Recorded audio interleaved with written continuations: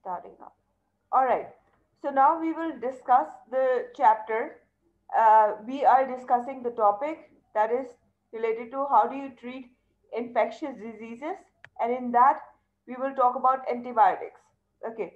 I tell you what, antibiotics, as we'll dig into it, okay, as the name suggests, it is killing up the bacteria. It is against bacteria. So when we'll dig into it, so you'll get to know that we have so many ways to either stop bacterial growth or to kill the bacteria. All right. So uh, today the topic, which is on antibiotic, okay. Today we will talk how do we inhibit bacterial cell wall biosynthesis. All right. Because I tell you in the bacteria, if you remember, it's a structure. So it has a cell wall made up of peptidoglycan, right? So today we are going to study how do we diminish biosynthesis of that peptidoglycan cell wall, all right? Because you see, if the cell wall won't be there, then obviously uh, the bacteria will die. The bacteria will undergo lysis, right? All right, so let's study about it.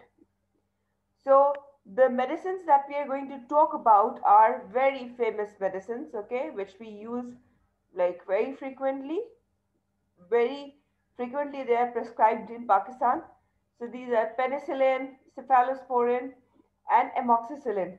By the way, I must say one thing here that I was reading an article and it said that by 2050, uh, there will be more deaths of uh, because of antibiotic resistance as compared to other diseases as compared to cancer right so just imagine that even more than cancer people are dying because of antibiotic resistance. So antibiotic resistance is developed when bacteria okay they get uh, they get used to okay they get immune to the antibiotic that you're taking okay? Uh, here I would say that if you remember uh, famous soap ads, huh? they say पहले के bacteria ऐसे होते थे अभी के bacteria ऐसे they all of a sudden they go red they go spiky right so uh, so that is antibiotic resistance you know that they're developing they're evolving right so let's study about it all right so bacterial cell wall all right so I tried to include this slide here, okay? And I try to make it easier for you to memorize, literally memorize this thing, okay? So first of all, if you look here on this side of the slide, wait a minute. Uh, let me get the pointer. Yeah, I got it. Okay. So better look here. Here you have two types of antibiotics, okay? One is bacteriostatic and other one is bactericidal, right? So bacteriostatic antibiotics are those antibiotics which would actually, uh, you know, stop the bacteria growing, okay? Static means that they're stationary, okay? They can't just multiply anymore. However, bacteria bactericidal is about that bacteria is being killed, right?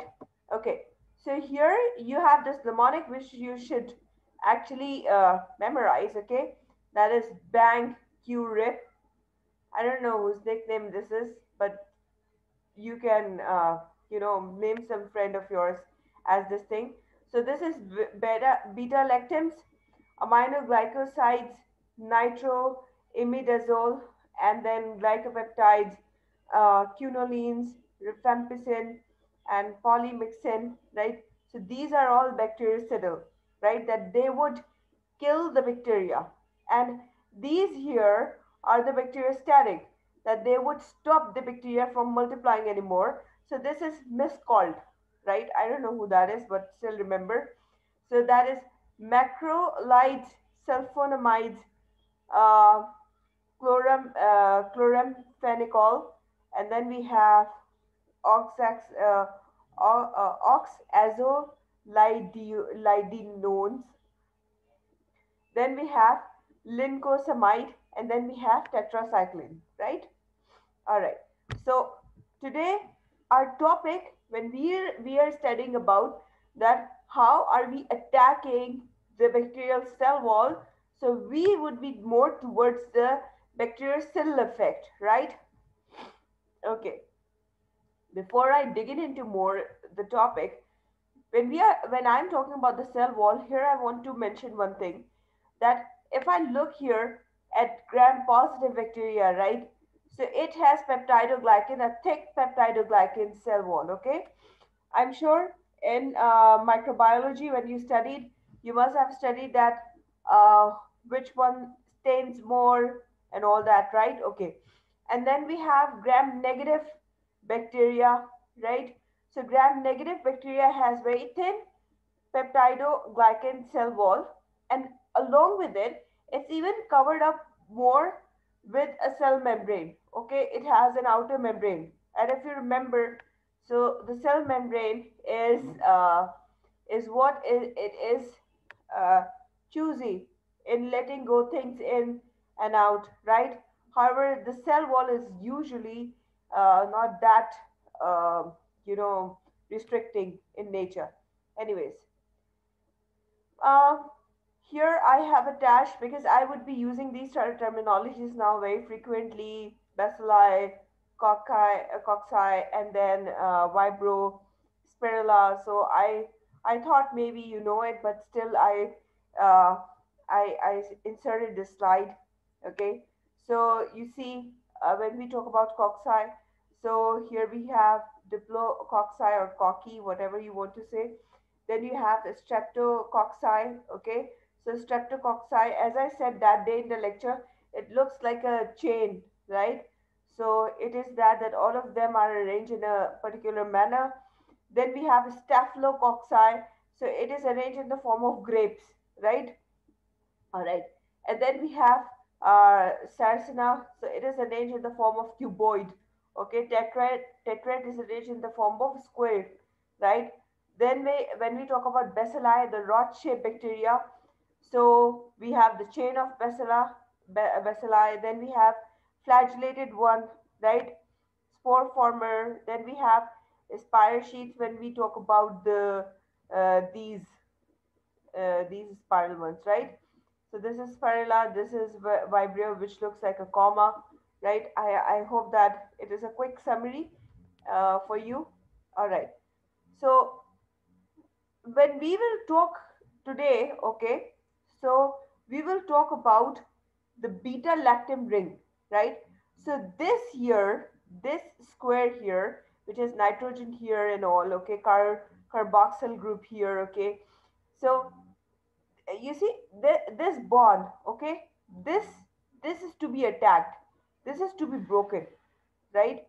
If uh, if you if the bacteria okay like uh, we are talking about the penicillin eh, i know that you know about it that penicillin is one of the most famous uh, antibiotics we have right so here in the penicillin you have this beta lactam ring okay so that should be broken in order to make the penicillin stop its work, right? It means that if I have uh, if I I have an enzyme that would break this bond, it means that this medicine will not work in my body, right? So I will be um, resistant to this antibiotic.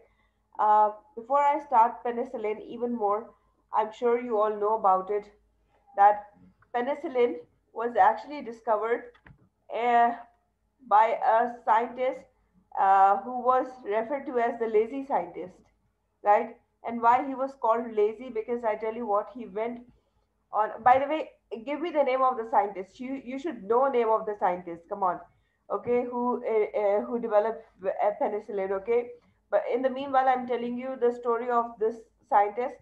Uh, tell me the chat box, okay? The name of the scientist. All right. So what exactly the scientist did was he went on a vacation, okay, with the petri dishes not washed, and uh, the window of the labs were opened up, and the person went on a vacation. Imagine.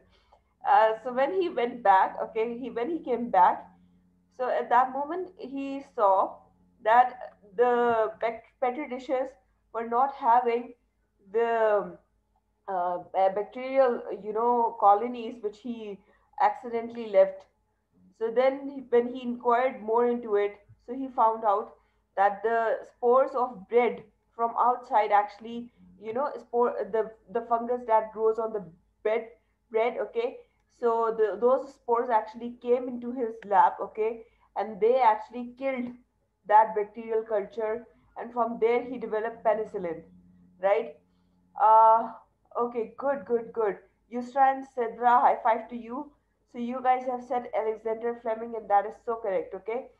So, uh, I, I- okay, I tell you one thing more. Before even he developed this entire, uh, and he isolated, um, you know, the uh, entire penicillin and everything. Okay, from penicillium. Okay, penicillium is a fungus from where penicillin is uh, uh, produced so before he even did that, I tell you what, Egyptians, what they used to do was, for example, if somebody would have a wound, okay, on the leg or somewhere, so they would use uh, stale breads, okay, which would have fungus, okay, and uh, they would actually place that bread on the person's, uh, you know, legs okay or wherever the wound is okay. So uh, in order to uh, not have any bacterial infection over there though it's very dangerous because the fungus would also be there but it was a practice by, of egyptians way before it was isolated and identified by alexander fleming right? Uh, so from here we should learn that we should always share our learnings our education uh, because it helps others and it's good to help community right? Okay. So when we talk about penicillin that how do they work? I've, as i've said right now uh, if you remember it's a structure here right? So here's a four chain uh, four cornered ring okay and then it is attached to the five cornered ring right? Okay so it is made like that okay penicillin okay? And what exactly it is doing is if you look here this green colored okay this is by the way this is the bacteria okay? And we have taken out the cell wall we have enlarged the cell wall okay? And then we would see that you see uh, the glucose compounds okay they're attached in one line okay these two lines are the uh, glucose compounds okay and then they're attached and then they have the peptide uh, the peptide chains here okay they are linked by peptide bond okay and this is further made stronger by this enzyme which is called transpeptidase right so what exactly penicillin is going to do? Penicillin's job is that it will attack on this tra- transpeptide okay? It will attack on it okay? And then when this will be broken okay as a result what will happen? The bacteria would break right? Because its cell wall would rupture right everybody? So let's read about it even in more detail so when we talk about the structure and mechanism of action so penicillin has a beta lactam ring which i've already shown to you required for antibacterial activity Modification of the R group side chain alter pharmacological properties and resistance to be- bet- beta uh, lactamase. Right? If you remember, I, I told you all that if you want to uh, destroy this compound, so you would break it from here, right? Okay. So you have this R chain, R R atta- attached here. R R is the uh, R is the R is the symbolization of any group that can be attached here, right? Okay, so uh, penicillins inactivate bacterial transpeptidase and prevent the cross-linking of peptidoglycan polymers that is essential for bacterial cell wall integrity. Penicillins also bind to and inactivate penicillin binding proteins involved in cell wall synthesis. Uh, the action of autolysin is in the in the presence of penicillin further weakens the cell wall, right? So you see the action of autolysin in the presence of penicillin. So penicillin, because of that, autolysin is also activated, right? And this autolysin within the cell wall, it also starts to help to cleave the cell wall, right? Okay. Uh, so penicillin are bactericidal for growing cells, right? Because in the growing cells, when we will stop the cell wall synthesis, so it won't be manufactured, right? So gram-positive bacteria with thick external cell wall are more uh, prone to it, right? Because they have the thicker one, right? Okay. So the major cause of resistance is the production of beta-lactamase. Wait. Beta-lactamase. The gene for beta-lactamase can be transmitted during conjugation or as a small plasmids via transduction. Okay. I'm sure in microbiology you have already studied what is co conjugation and what is transduction, right? But still, I have uh, placed this uh, slide for you, okay? So what exactly they are going to do is this, that these two bacteria, okay, they would get closer to each other, okay?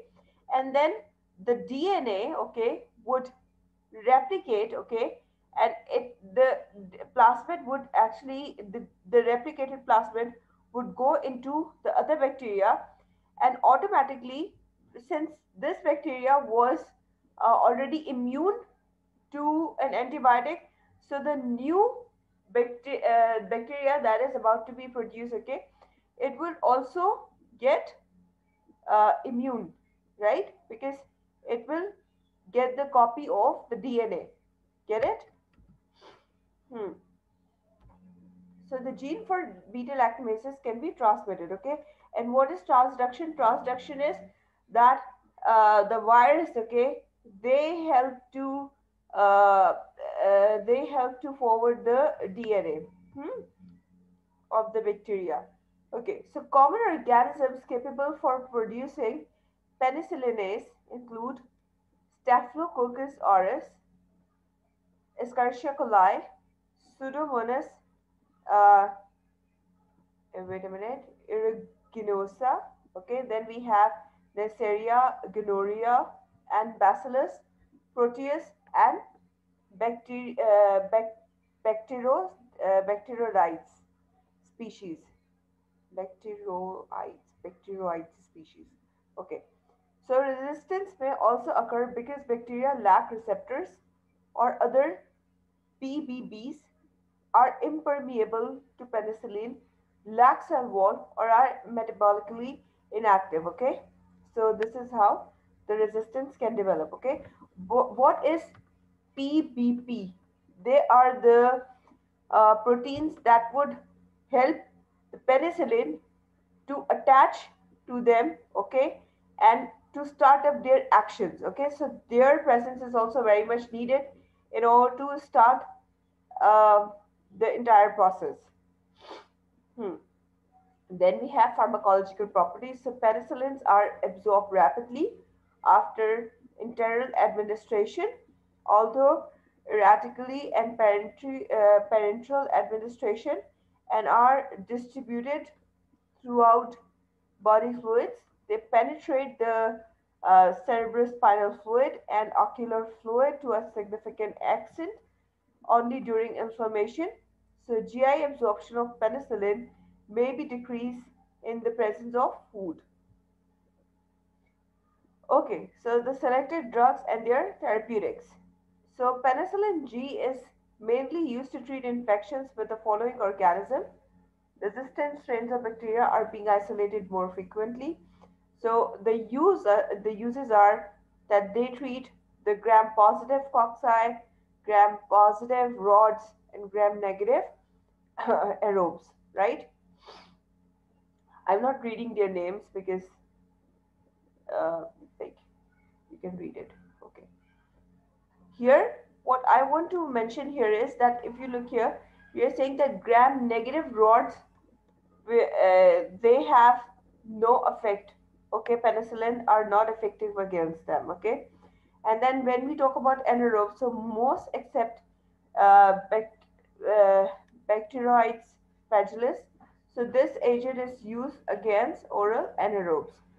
Other uh, other uh, Treponema pallidum uh, which is used to treat uh, syphilis, and uh, Leptospira species. So they are common pathogens for first generation penicillins are used today. Penicillin uh, V, an oral form of penicillin G with poor bioavailability, has a narrower spectrum of activity. Penicillin G, benzathine, and uh, penicillin G procaine are suspensions of penicillin G that prolong its half-life, allowing a reduced frequency of injections.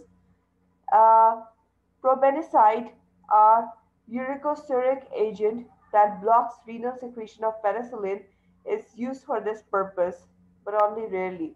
So what is uricosuric agent? So these are the agents that would reduce quantity of uric acid into your body, right? It means that the people who are suffering from gout syndrome, they would be using it, right? Okay.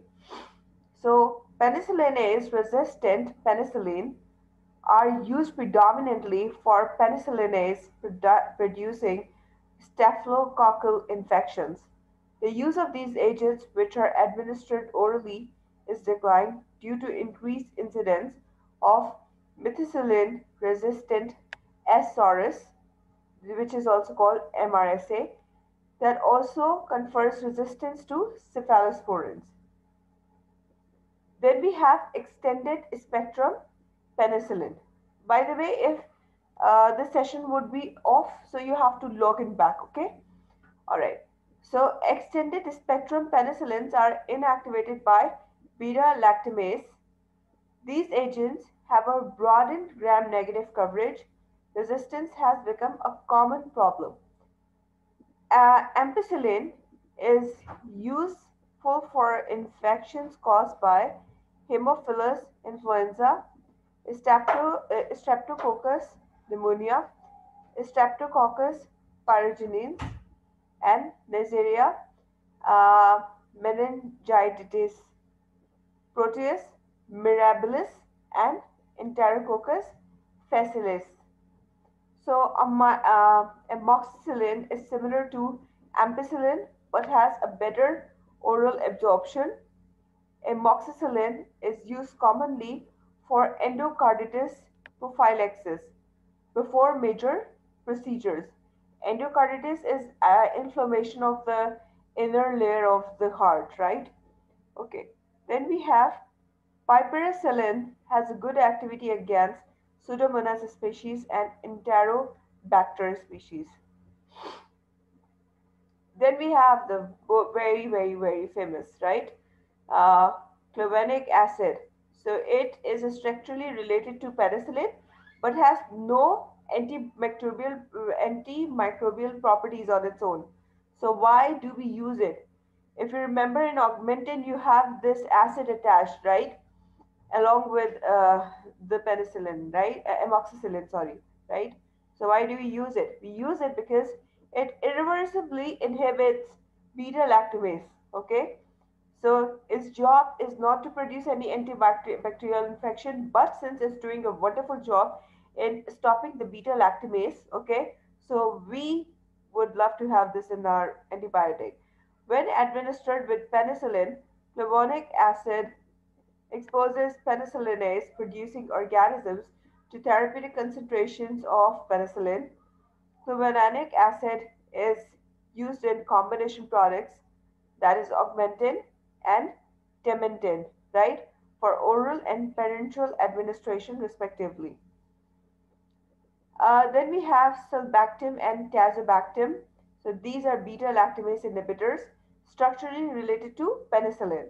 So sulbactam is marketed in the combination product uh, that is ampicillin and sulbactam and tazobactam is used in combination with uh, piperacillin under the name Zosyn.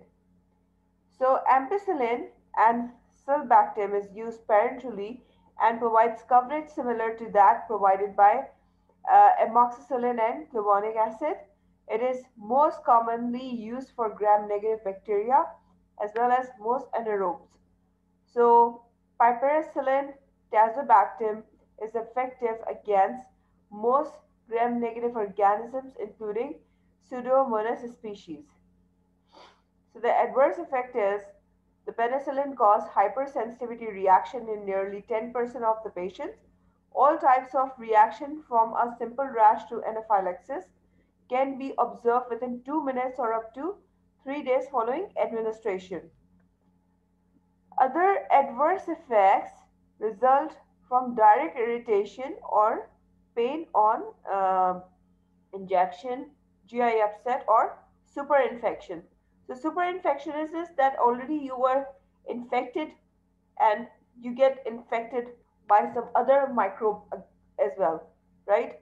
So that is superinfection that you have two kinds of infection at the same time. Okay, then we'll talk about endocarditis prophylaxis, right, for which we are using it. So endocarditis uh, prophylaxis is indicated for patients with prosthetic heart valves, those who have previously been diagnosed with endocarditis, patients born with cyanotic heart disease, and patients with surgically constructed systemic pulmonary shunts. So patients with intermediate risk for endocarditis are those who were born with other congenital heart abnormalities, those with acquired valvular dysfunction, and patients with hypertrophic cardiomyopathy. Endocarditis prophylaxis is recommended, recommended for the above patients who are planning to undergo major dental procedures. So procedures involving the respiratory tracts such as bronchoscopy or uh, tonsillectomy uh, and operations and procedures involving the GI and uh, genitourinary tracts. Agents most commonly used for endocarditis uh, prophylaxis are amoxicillin or ampicillin. Those who are allergic to penicillin can take uh, uh, clindamycin or azithromycin. I would recommend that before we start cephalosporin, I would end this meeting and I will restart it and you all join. Okay.